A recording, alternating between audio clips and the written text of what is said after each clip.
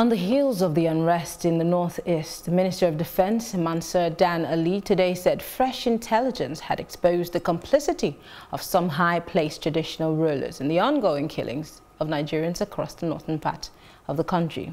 What does this mean? And how does this statement address the ongoing crisis? Well, to make sense of all of it, I'm being joined in the studio by a security expert, Peter Egbidion. It's good to have you in the studio. Thank you. I mean, I don't think I have to tell you a story or try to, you know, tell you what has happened. You obviously live in this space and you understand what we have been experiencing all through the weekend into today. And of course, at 7 p.m. last night, we had a fresh attack yes, in.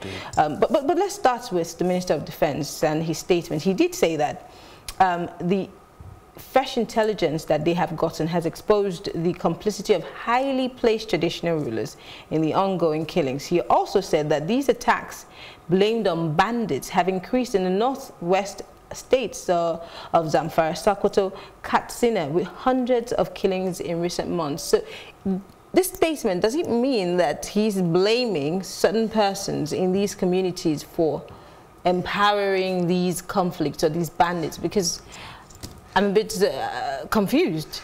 He, I mean, he leaves us. He leaves us with no choice but to arrive at the conclusion that he's been. Um, he's just shifting blame, and this is one of the things that this administration has done very well. They've been adept at trading blame, at passing the buck. There is no reason why, if intelligence has emerged that traditional rulers are behind these killings, that they should not have been arrested by now. One of the, one of the, one of the things that is required of people who are in the leadership of our security architecture is that they be swift, they be proactive.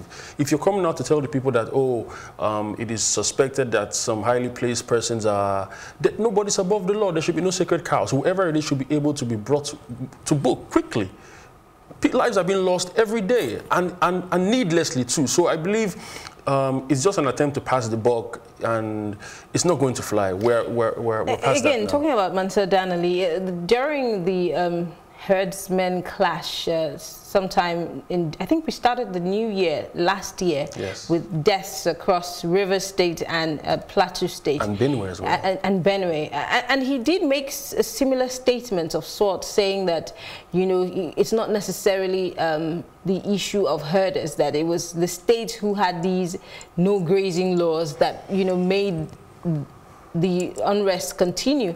And for me, I wondered, for a security expert or for a minister of defense, should you not necessarily be more careful with the words uh, that you speak, especially when you know issues such as that are a bit dicey or fragile? Exactly. And, and uh, sadly, sadly, one of the hallmarks of this administration, um, which has um, ended itself another four, or gotten another four-year term, um, is that they have displayed this sort of nonchalance for, for, for protocol, security protocol. There are things that should not be said by people who are in leadership in security.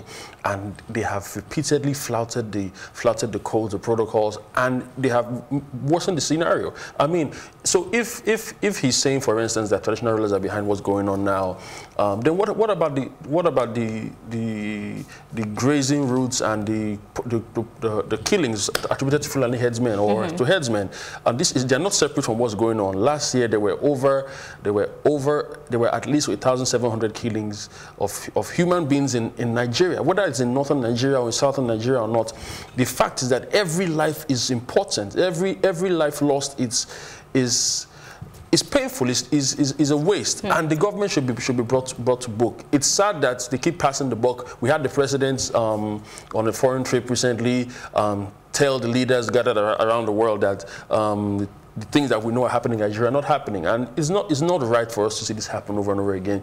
What, what it does is that it, it, it, it, it, makes citizens resort to self-protection. And when citizens try to do that, you create a state of anarchy. I did ask a question yesterday, and I'm going to ask that question again today.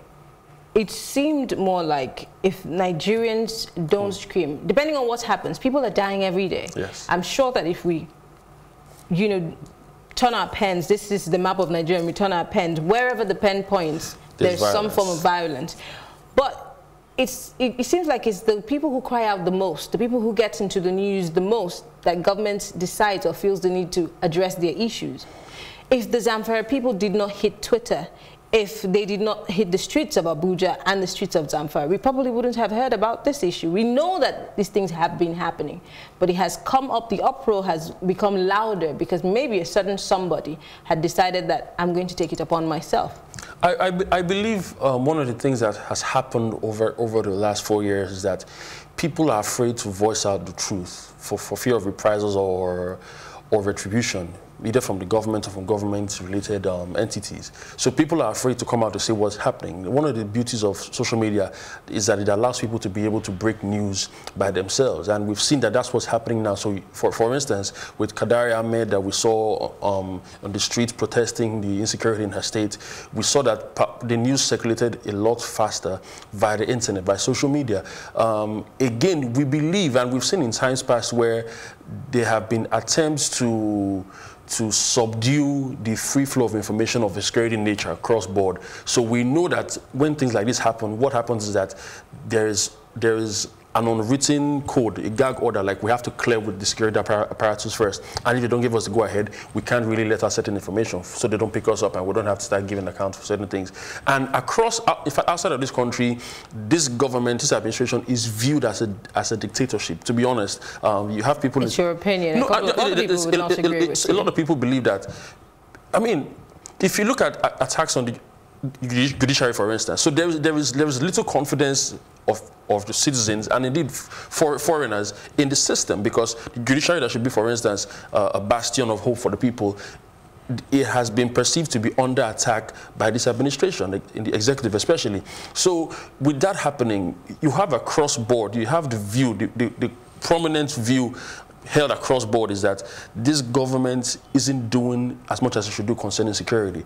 Um, it's sad that this has happened and lives are being lost even as we speak in Plateau, in Benue, in Taraba, in Kaduna it's sad. And I mean, if, if, if, you take into consideration the fact that Nigeria is sitting on a keg of, of, gunpowder, I know the vice president was in Rwanda over the weekend to commemorate the anniversary of the genocide, but we should look inwards. We're, we're literally losing people faster than they did in that time, and we're not doing anything about it. Let, us look at the fact that um, Mr. Dan Ali again went on to say that Locals, especially in Sokoto, Katsina, Zamfara, and other parts of northern Nigeria ravaged by the faceless gunmen, should rise in unison to support all government efforts aimed at addressing this, this crisis, especially because soldiers and other elements in the armed forces cannot combat it alone.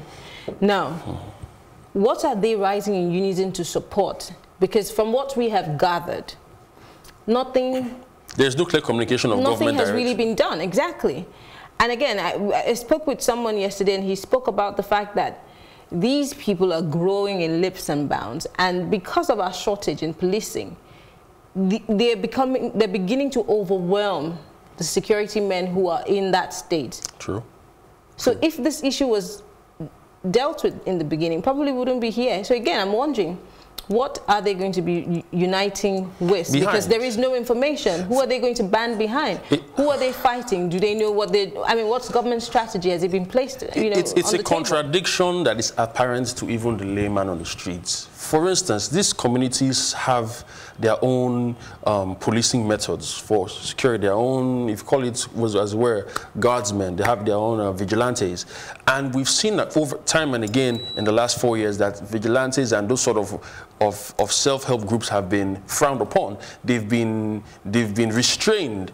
And when that happens, you, you don't expect the people to be confident. So even when the government is coming out to say that, for instance, the, the it is suspected that the traditional rulers who are behind or, or aiding and abetting some of the violence that's going on, it, it's, it's been clever by half because if you look at it, if the communities are not allowed to police or, or, or, provide some form of protection for themselves, and now you're coming out to say that, oh, we don't even have enough men on the ground, enough boots on the ground to protect you people, then we're literally saying there is, it, it's, it's a call for self-protection, it's a call to arms, to your, to your tents, oh, oh Zamfarans, oh, oh, Nigerians, arm yourselves, protect yourselves. And with the proliferation of arms across West Africa, moving to Nigeria, especially in the last six, seven years, we collapsed in Mali, mm -hmm. Libya, you're going to we're literally a war is, on, is, on, is underway, whether I like it or not. It may not be said in, in, as, in as powerful or as profound a term as I've used now, but to, to be fair, to be honest, what you are seeing across board, from across Nigeria, is the decimation of a large number of people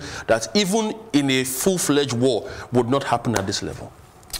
All right, but quickly before we go, what do you think that the Zamfara state needs to do? Because sometime this month we um, covered a story of my Maiduguri um, people in Maiduguri um, complaining about the fact that rent is getting higher. A lot of people are running to my Maiduguri from, you know, where they're having pockets of violence. And I'm guessing even Zamfara state, they're going to have other states who are neighboring states having people come from there just because they're trying to get away from the problems. Mm -hmm. How do we... the IG has taken, you know, has said all of these foreigners should leave, you know, the minors, they should all leave the city. But how do you secure those who do not have the means to run away? How do we keep these people safe? Because number one priority of the government uh, and, the, and security agents is to keep and protect lives and property. So what is the fate of the average Zamfara person who doesn't have the means to run away? Well, um, there's there's a saying I, I, heard from from some of my seniors in, in the military, and they said something. It's a joke, and it goes like this. It says um, there's a, a, soldier who was worried about the fact that bullets might be coming his way, and they told him, uh, "Don't worry about the bullets that are coming your way. If your bullet has your name on it, it's going to get to you. If it doesn't have your name on it, it's not going to get to you." And then the guy asked and said, "What about the bullets that are coming with the label to whom it may concern? In other words, I'm in the line of fire." Mm -hmm. So what's going to happen is that you're going to have people who are sitting dogs, unable to run, and the more they begin to flee, this is one of the reasons why Nigeria is treated with with a lot of um, care and fragility because if anything of that nature happens across Nigeria and it breaks out into a mass exodus of people across West Africa, you're going to see economies feel the pressure of that exodus, of that um, um, flight for safety, and it can literally cause an economic collapse across West Africa. Well, we're this not hoping for any of that to happen. We'll still we'll keep uh, Peter uh, in the studio. We'll take a short break, and when we come back, we'll be moving to Kaduna State, and of course, Rivers is back in the news because some men dressed like security operatives uh, invaded communities and, of course, raided and killed. We'll be right back. It's still Plus Politics.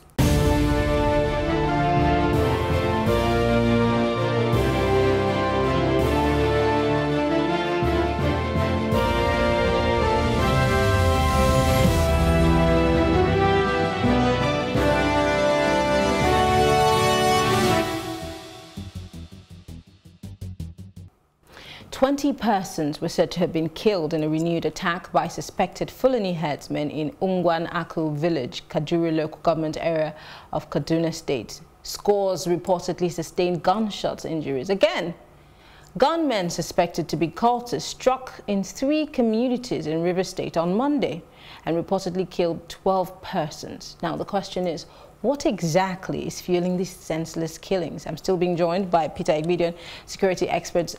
Peter, I'm sure that you're almost getting sick of these killings, the numbers. They're just, we're reading out these numbers like they're not human beings. Absolutely. They become just statistics that we read, oh, 12 people died today. And it's, it's, it's, causing apathy across board. Do you, do you, do you, have a, do you feel a sense that, you know, Nigerians have become somewhat numb to this. So we just you know, oh, some people died in Kaduna. Oh, oh absolutely, absolutely, absolutely. In fact, one of the things on International Day of Happiness on the 20th of March, I sat down with a team of um, experts. We had a roundtable discussion, and we realized that one of the things that's happened is that Nigerians have developed coping mechanisms for these things. So you find a lot of slapstick comedy, you find a lot of um, humor, um, people people are drinking more now. More, there, there, are more addictions to hard, hard substances to escape the realities that we're facing on the ground. So because of that, um, we're living we're, we're, living in fool's paradise, if I may use those terms. Hmm. It's hard, it's, hard, it's hard to escape the truth. So my question, just as I started in the opening, what do you think is fueling these senseless killings? Because, I mean, in Kaduna alone, 20 persons were killed. A source actually said that these people dressed like military men invaded the village. It's about 7 p.m. And I know where I was at 7 p.m. I was on air and we're still talking about Zamfara. And then we had this. Now, of course, um, the senator representing Kaduna Central um, Senatorial District, Shehu Sani, has expressed regrets that just when he wanted to condemn the alleged xenophobic killings mm, in, of Nigerians in South Africa, um, he, he, was devastated by the news, uh, you know, early this uh, morning. So it seems like everywhere you turn, something is happening. Yesterday I was saying that the cultists in Akwa Ibom were telling the governor, uh, Udom Emmanuel, that they haven't come to settle us. And they were brandishing guns. Where did they get those guns from? What what exactly is fueling this and where is all of this coming from? Like it's, I said earlier on, every single way you turn to, there's some killing or the other. It's a combination of many of many of many factors. It's it's fueled by by a fight for survival, um, economic economic relevance and sustenance. Um, it, it is also due to politicization of of a lot of things. For instance, during the election cycle, we saw that a lot of thugs, a lot of people were armed to foment violence. We saw um, supposedly some armed men from from Edo State heading to Akwa Ibom on the supposedly on the orders of a national leader of a prominent party in this country to go and foment trouble in that state believed to be stronger than the PDP. So we've seen that part of what's fueling it is politics. We've also seen that what's fueling it also is greed and, and, and the desperation for power, for survival, a, a grab for resources. If you also look at the conflict that's happening across West Africa and Nigeria, especially in the north, it also has to do with the, struggle for, for resources.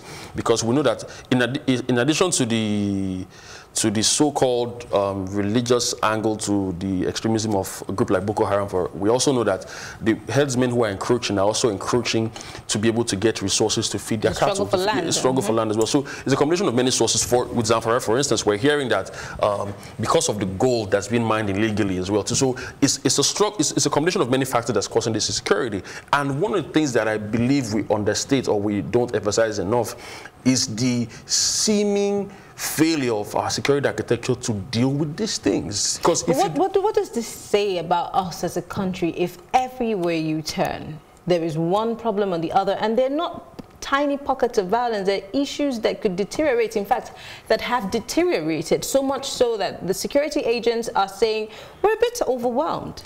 It's, it's you know, um, there, there, are think tanks that are um, across, across Africa, across the world, and some of these experts will sit down and, and they've arrived at the fact that the fact that Nigeria didn't fulfill prophecies to be a failed state in 2015 or 2014, 2015 doesn't mean that Nigeria is not a failed state yet. It just hasn't collapsed as, as evidently as it, it should have collapsed. Because a lot of things are, are, are just falling apart. If you, if you remember recently in the last six, seven, eight months, we saw videos of soldiers, members of our armed forces, deserting the army because they were saying that the, the, the, the, opponent, the, the enemies, Boko Haram, had superior firepower and their, their commanders had left them to the mercy of these people. It has, it has, not, it has never been that bad.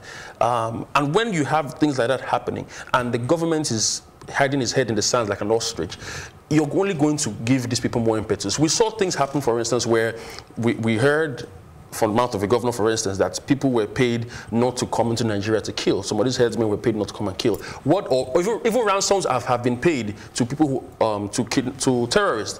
What that does is that it empowers them to purchase more ammunition, to foment more trouble. So the way the government has handled it has actually inflame the tensions and the again let's let's because I, I, always when we talk about government governments you know governments is a progression of sorts you know from one administration to the other where did we start getting it wrong? Because it seems like we've built, over time, we've learned to sweep issues under the carpet. And now that it has resurfaced, it's more like a hydra-headed monster because, of, I mean, what we're seeing right now. Mm -hmm. So what do we do? Where, we go, where do we go from here?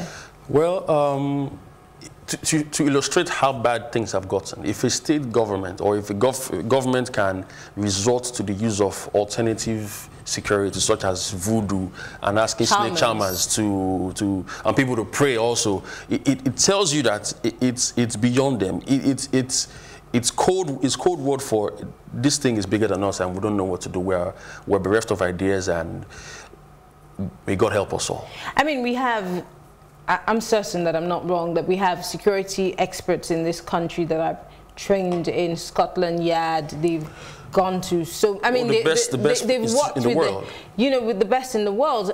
Can we really truly say that? Oh well, you know we cannot use the intelligence of these people. They, we cannot consult them. I mean, for exa example, a state like Kaduna State, a state like Zamfara, they've had issues on and on and on. And, and I'm wondering, in the 21st century, why are we not able to have security consultants why do we just rely on police or, or JTF? I mean, I'm not saying that we shouldn't, but why can't we get intel and strategy on how to deal with these issues before they even got to this point? Well, um, again, it's an unwillingness of the administration to embrace people across board. Um, if you remember, a prominent retired general, I, um, I'll mention his name, T.Y. Danjuma, came out to say at a point in time that he believed that government was complicit in some of the things or in the failure of security as we've seen it so. And he's not he's not he's not a he's not a nobody. He's he's quite he's quite a seasoned expert. There are many of them across the country across even from those who are now um, outside outside Nigeria. The best minds that have come out from this country they would have loved to contribute but it's believed that there is a a, a, no, a, a, no welcome policy of this government. There's, not so, there's so much that private consultants can do. Um, we, we heard of a time recently, I believe was the prior administration of, of Goodluck Jonathan, where we heard that some mercenaries, Blackwater mercenaries, were engaged for certain um, activities within our country. And they were, they were they were, those, those procedures were discontinued when this administration came, came on board. And we've seen that sometimes you will need to adopt certain measures just to get results. If we're not getting the results and we're seeing, for instance, last four years, security architecture, very little, apart from the police, nothing has been done to change people in the, in the armed forces. And when failures are reinforced, as we've seen it, so I, I mean, it's, it's, only going to lead to further collapse of security and and. So what do we do? Because you see, the reasons the reason why we have these conversations is because we're looking for solutions to the problem. Yes. What solutions? Where do they start from? For River State, it's cultism. Akwa Ibom State is cultism. Cross River is cultism. For some other places, is um, armed robbery and kidnapping, which is also on the rise. Like I said, uh, recently a journalist was kidnapped from in, in, front of his house in the morning as he was going to read the news and killed. So if it's not one thing, it's another. Yes. What do we need to do? Yes, it has gotten bad, but can we at least we need to demand issue? more from our leaders. It, it's, it's, it's, it's amazing the kind of things that we've tolerated as part of our threshold for mediocrity and, and, and nonsense, to, be, to call it what it is, that in other climes would not even happen. A tenth of it wouldn't happen and you'd spark up quite a revolution. Um, but here we see that people are afraid to speak up because, so let's look at River State for instance. While people can say on the surface that it's cultism, it's not just cultism because we saw in the last election cycle or the just concluded election cycle, we saw the militarization of the state. And even if um, people were not going to take up arms. The fact that they were brutalized like that, and then we saw members of the armed forces denying that it was the men who were on ground or who were responsible for those killings, and we saw we saw the Nigerian army descend to a depth that we've not seen them before. I mean, a cross exchange of, of, of words with politicians. It, it, it, was it was it, was it was dirty, and to, to, for us to get to that point. So what I'm saying is, I believe the number one thing that should be done is that we should hold our leaders to account. With the way we, have we've, we've tried with the EndSARS movement, but we should, apart from just being on Twitter, it's it's I think it's important. One of the fundamentals of our democracy. We need to occupy once to, again. Absolutely, it's, it's important. If, if we're losing lives like this, you're losing probably the next Mark Zuckerberg in, in, in Zamfara, or you're losing somebody of equal value who, with, with, a, with, a, with, a, with a solution to, to global problems that we haven't yet seen. And those are valuable lives. Those are valuable lives. Even just, let's even leave the citizens now. Even amongst the armed forces, we see men who have been trained, they've spent lots of money training our security personnel, and they are dying in the war front. And it's going to take a lot of money to find other people because there's not enough recruitment to fill up the ranks quickly. It's really sad. We'll take a short break. We have some reports uh, on the recent happenings. When we come back, uh, I'll be giving you my take.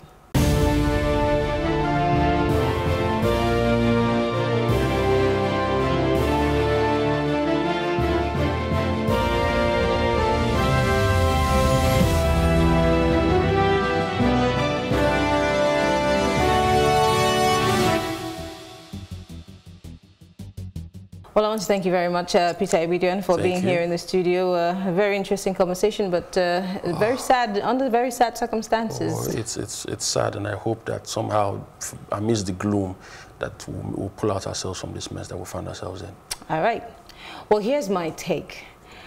I'm saddened and I'm really, really appalled at the fact that we can actually take up arms against one another for gold, for whatever it is, for money, or for superiority. Whatever happened to uh, good neighborliness and brotherhood? Whatever happened to friendship and love and forgiveness? And here we are today, crying over the graves of uh, brothers and sisters prematurely leaving this earth because of one person or the other, because of hatred, because of greed, because of bad leadership. But the question is, when we're all killing ourselves and destroying Nigeria, what will be left for your children, for the ones that are coming after us? Is this the Nigeria that we want to live for them? Think about it. I am Mariana Cohn, and it's been Plus Politics.